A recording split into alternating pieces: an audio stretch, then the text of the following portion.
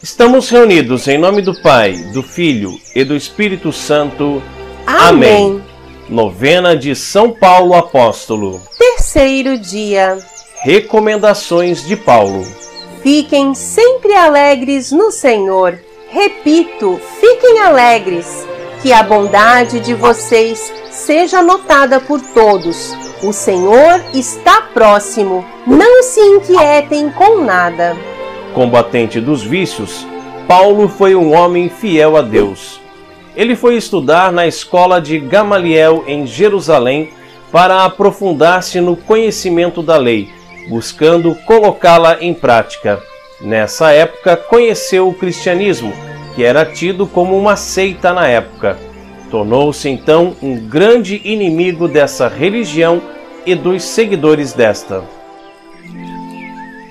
Faça agora o seu pedido a Deus por intercessão de São Paulo.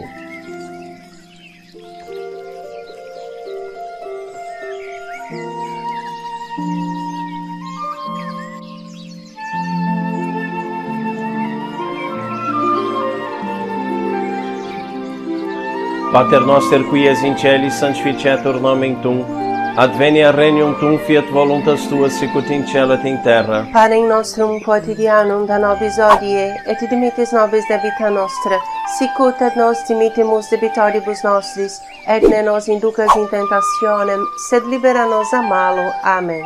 Ave Maria, gratia plena Dominus tecum, benedicta tui mulieribus et benedictus fructus ventris tui, Iesus. Sancta Maria, Mater Dei, ora pro nobis peccatoribus, nunc et in hora mortis nostre. Amen. Gloria Patri et Filio et Spiritui Sancto, sicut erat in principio et nunc et semper et in saecula saeculorum. Amém. Oremos.